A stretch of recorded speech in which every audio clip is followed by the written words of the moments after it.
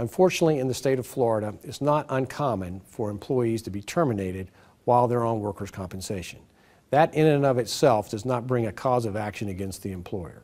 There would have to be some sort of wrongful termination. An employer does have the right to basically let an employee go if they can no longer perform that work.